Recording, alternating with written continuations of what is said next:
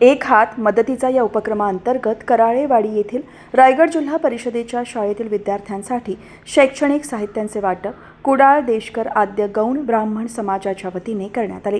यावेळी शाळेतील तीस विद्यार्थ्यांना शैक्षणिक साहित्य आणि स्कूल बॅगचे वाटप करून भोजन देण्यात आले. या कार्यक्रमाला संस्थेचे अध्यक्ष मंगेश परुळेकर उपाध्यक्ष राजश्री नाईक शाळा व्यवस्थापन समितीचे अध्यक्ष रंजना गाडे सदस्य मारुती घाक मुख्याध्यापक अनिल जाधव वसुधा आंधळकर यांच्यासह संस्थेचे पंचवीस सदस्य उपस्थित होते.